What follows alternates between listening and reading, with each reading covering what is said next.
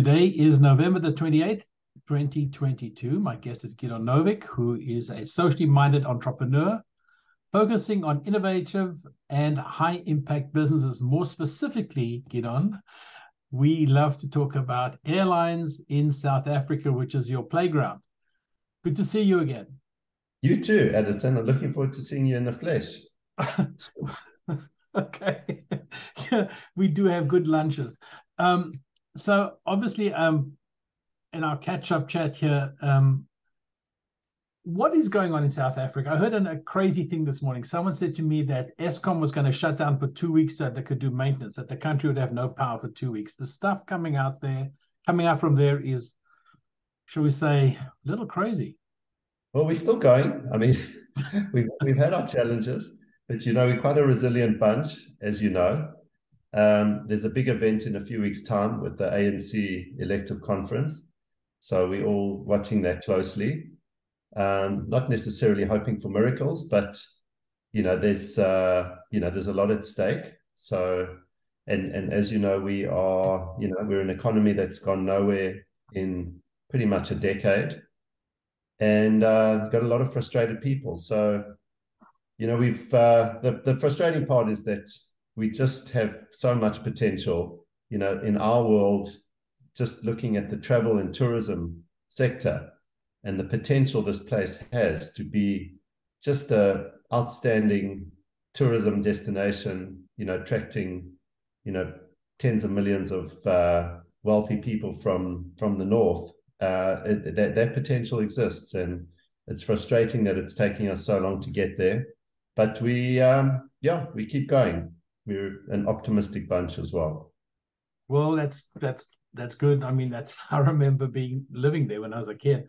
So yeah. of course, the you're entering tourist season now. Um, you've got living you live in Cape Town, so you've you're seeing obviously United and Delta now flying there.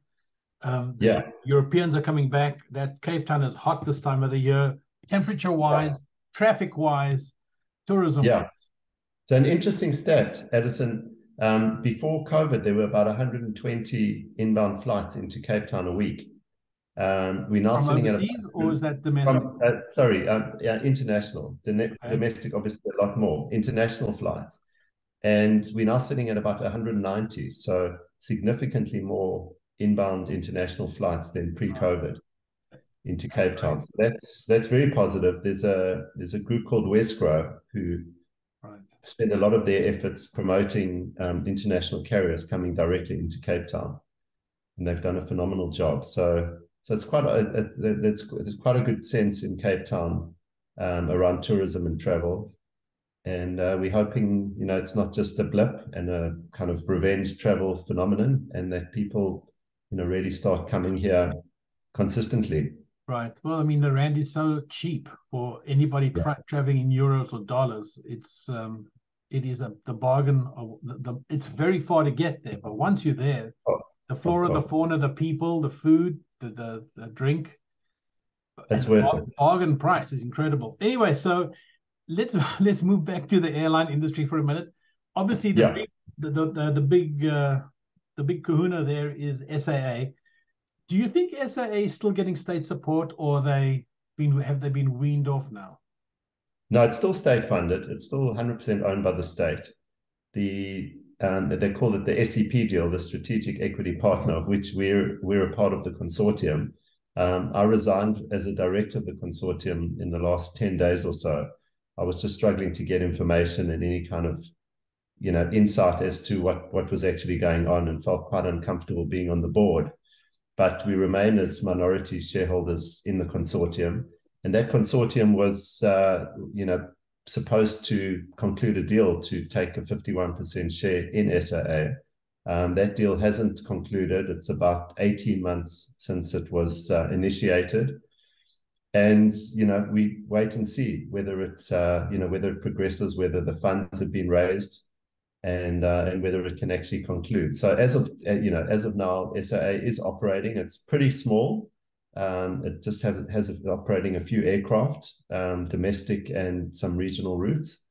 Um, a tiny speck of you know what it once was in terms of size and stature, I guess. so it, it, it really is uh, literally up in the air in terms of how that story unfolds. Right. South African Airways used to obviously, when the, the, in its former glory days, had access to almost any part of the world. What do you think is going to happen to all that access, those market access? Are there other airlines in the South Africa who obviously are? You don't want to just stay inside the pressure cooker. You want to get beyond the border. Sure, sure. Well, things obviously haven't stood still, um, and I would imagine this has happened globally. You know, with the um, COVID effect on so many carriers, um, other carriers have uh, have filled the gap to a large extent. So, I mean, if you look internationally, I was just sharing some stats on on Cape Town. So, you know, those international carriers have stepped in in a big way, and um, we actually are very well served from a international global point of view in South Africa. We have incredible you know service from the world's best airlines. So that's kind of on a long haul basis. On a regional basis, you know, there's some very strong regional players like Ethiopian that you know service South Africa very extensively. Um, Airlink has filled a lot of the gaps in terms of um, some some of the regional routes with the smaller equipment. So things have not stood still um, by any means. And uh, as you say, you know, we sit on the southern tip of Africa, so if you're an airline business and you want to grow, you have to look north. Otherwise, you know, you are going to hit a point of um, of uh, maturity or saturation pretty, pretty pretty quickly. So one has to look north. We have a very robust domestic market, although I think the signs there are a little bit of uh, irrational exuberance and you know uh, potentially overcapacity, which kind of always is the cycle that we subject ourselves to. And so, so that's I think that's the risk uh, from a domestic point of view. But uh, but the region is opening up, and that is you know still the big opportunity, possibly globally. You know, this is still the untapped continent uh, in terms of travel right. and in terms of economic growth. And um, our resources on the continent are in global demand now. So we potentially have have a, a strong bull run in terms of the the desirability of Africa as a as a continent. Um, so yeah, it will be an interesting decade or two, I think, in terms of the evolution of African aviation. And obviously, sorry, I'm talking a lot. The uh, regulation is is is still the key. It still is highly regulated.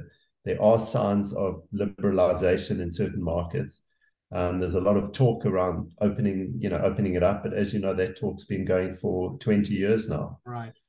So what, what could be interesting is, you know, with so many failed state carriers and, you know, almost less that governments have to protect, uh, that could be the catalyst for saying, you know, let's just open this thing up and let's uh, let's let the most efficient players come in and serve our local markets. Right.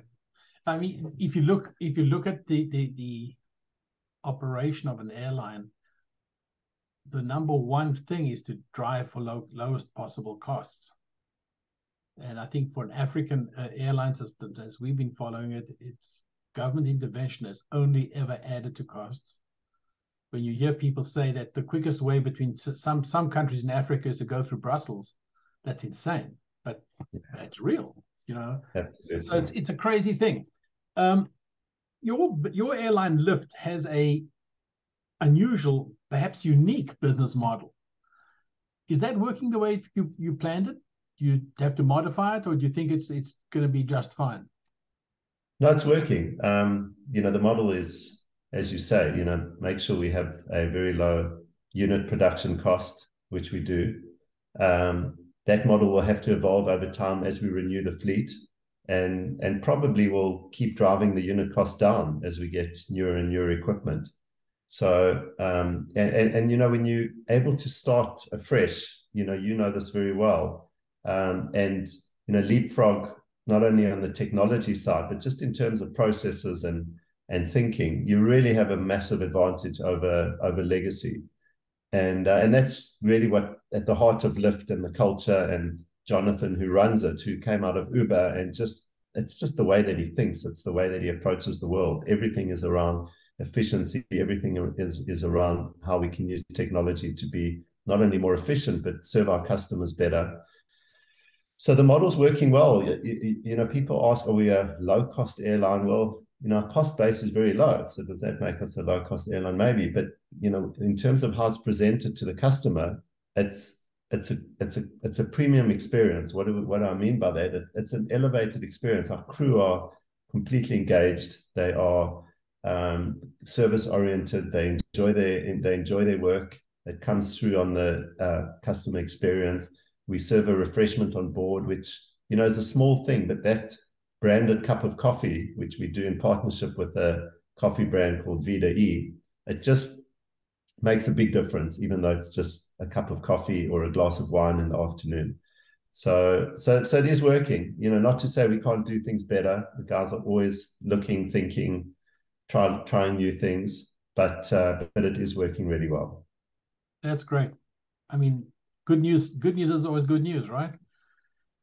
You mentioned something about updating the fleet. That obviously is something that I um, at Air Insight we are we love that stuff. we love that stuff. When you look around, because Neos and Maxes, I guess that's the ideal, and even probably the 220, it's hard to get them. Yeah. Because there's such a demand worldwide. All the airlines want to go green as possible. The green, the quickest way to green is the newest possible engines, which come on the newest airplanes. Um, the yeah. only the only airplane you could probably get a delivery on real quick is somebody else's Max who's not taking it, or an E2. Um, yeah. When you look across the spectrum, what can you share some thoughts with us on on on the thinking with at, at Lift? Yeah, I, I think you, you know the economics are are plain to see. You know the new aircraft work. I mean, the one thing one has to be mindful of is obviously utilization. So uh, going back to the you know assessment of the South African situation, geographically, our domestic market doesn't drive great utilization because we only fly really between you know 6 a.m. and let's say 10 p.m. So it's hard to get more than you know eight or 10 hours if you're lucky per day out of an aircraft on the domestic route. So so the it, it is really important to get the regionals into the mix um, to make those new aircraft really work. Um, and then obviously, you know, access to these aircraft and not only access to the aircraft, but access to the aircraft at the right price. That's really the, the challenge. And um, I think that's where, in my opinion, and that's where Comair got unstuck is, you know, they got quite enamored by this idea of new aircraft and on a spreadsheet, it looked really good. But, you know, did a, you know, can a small airline like that actually get a decent deal out of a manufacturer. I don't believe on their own they can. And um, you know, and and and obviously the debt that comes with that is very onerous when when things turn. So it's it's a dilemma. Um, it's it, it is an inevitability. I think you know if one you know charts the path of a of a long term airline, which we certainly hope to be, um, new aircraft will feature into that at some point. The question is when. When is the right time? Right. You know, it's interesting. I, I do a chat like this with some people in India once a month. Um, and in India, they have the same problem where you've got obviously local currency, but your big asset comes in with dollars. Your fuel yeah. comes in dollars. And so the currency risk is enormous. And what they've done in India is they have developed a buffer, so to speak. They have a financial um, vehicle that takes in the asset in dollars and locks that and then offsets the local current the local users. They have a essentially a leasing vehicle that they've created to protect people from the vicissitudes of of currency fluctuation because that can drive you crazy. It's like the cost of oil. You have yeah. no control over that yeah. and if the cost of oil is, is spiking and not spike or you know doing all kinds of things that's one problem. But when it spikes in dollars, that's even you know it's a, it's a double whammy. So there's there's something that you might look at there. No, that's um, very interesting. That, yeah, that um, yeah. So so the, when we've spoken before, you've made a very interesting point that really, given the the the situation in South Africa, you the, the way you foresee it is that really the most effective thing to do is not to get state of the art airplanes because it's just too expensive given the margins and how competitive the local market is. Yeah, I, I think one has to keep um, keep an open mind. Addison, because I think, um, I mean, you know the market better than anybody. One has to be opportunistic as well. You know, these opportunities do come around for whatever reason. You know, maybe there's a um, a, a, a, fleet available and and one needs to um, act quickly to um, you know to um, to get involved. So so I think one has to, and and you know we're we're a new airline. You know we we're small. We've we've got five soon to be six aircraft. So if we are going to you know look at re, look at a, a different fleet strategy um, you, you, know it is it is a time particularly if we're going to change fleet you know if we were to for example going to a boeing fleet um, you know from our current airbus fleet now probably would be the right time before we get too big and then it becomes almost impossible to make that transition. Right. But we've got a completely open mind and you know we're looking at probably too many options because you know it's um, we're big on options particularly because we knew and you know we talked to lots of people but you know at some point we're going to have to uh, make a call. Right. And, um, you know a lot a, a, lot of it's also driven by a view on uh, on on fuel. You know what is what what does that look like? You know fuel comes tumbling down. Uh, the new aircraft are still attractive but less attractive.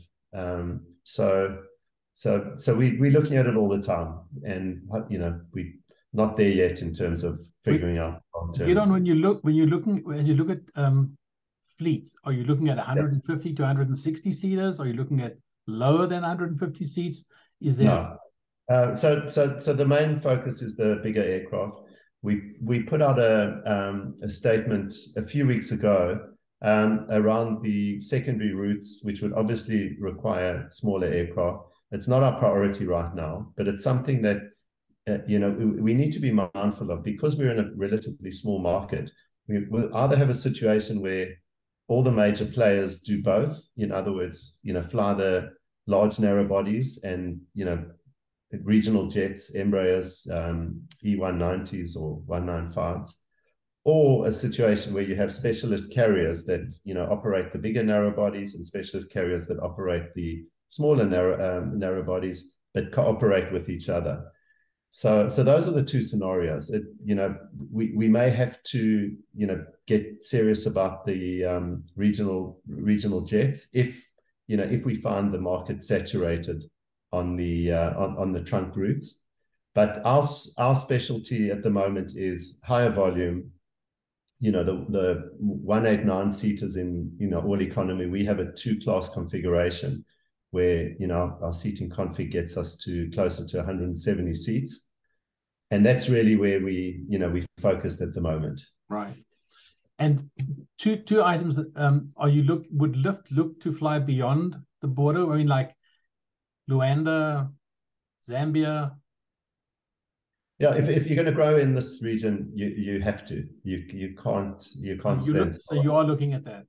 Yeah and and we're looking at that again. It's you know, we've got a view, we, um, and we, we never want to be arrogant about it, but the, the, the current model works well.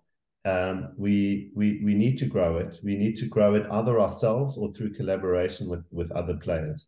Um, you know, airline, the right airline collaborations, I think make a lot of sense. Um, you know, save, you know, significant uh, capital risk if you're able to do the, right. the right codeshares and alliances and even mergers. You know, we, you know, we we kind of early on in the discussions on the SAA deal, you know, we we did discuss the idea, you know, what if you took a really efficient um, platform that Lift has and combine that with an SAA kind of platform, which is carries a much bigger overhead, but has you know the reach into Africa, has the route rights, has the brand presence, has some of the infrastructure required that, that you know that that made a lot of sense and may still make a lot of sense. So, you know, I'm all for looking for collaboration opportunities, but if they don't work, then we got to figure out how we're going to do it ourselves.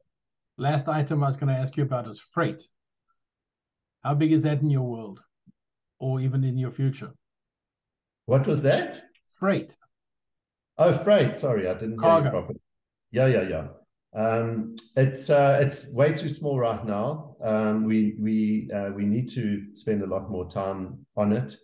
Um, it's it is the big opportunity, and particularly as we look further north, you know that's uh, that's a massive opportunity. Domestic freight, you know, it's a it's a nice add-on. I don't necessarily think it's a it's a business line we want to focus on on the, on the domestics, but certainly moving around the continent, it's a it's a big piece. And and by the way, I think you know the big opportunity, the initial opportunity is to do is, is to do both. In other words, have a big focus on uh, belly freight alongside the, um, the, the passenger operations. And coming back to your point on the on the on the aircraft, and again, this is your expertise, but you know these newer aircraft have incredible performance. Um, you know, with uh, you know full loads of passengers and freight, and you know something that we you know can't necessarily do with the current equipment. So that's also really interesting to us. Right. I remember doing a convers having a conversation um, with I think it was Comair at the time. Yeah, we were talking about the fact that with the, when the Max came to the, then they only took, they only got one, but when that Max arrived, they could go from Johannesburg to uh, to Nigeria. They could do Lagos. Absolutely. And then they could do one stop Lagos to London. No, on a Max. Uh, we yeah. see, for example, uh, in the states, um, we in I live in Baltimore. Yeah.